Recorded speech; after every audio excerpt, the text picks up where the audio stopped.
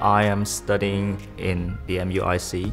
The first time I came here, I found it quiet, peaceful, everywhere it's just walking distance.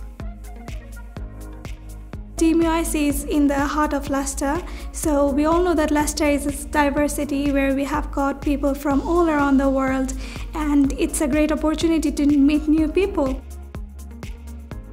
I have some friends from Poland, Bangladesh, Cyprus. It's really nice. Some of the teachers they are amazing. They are really supportive. The staff at DMUIC are very friendly.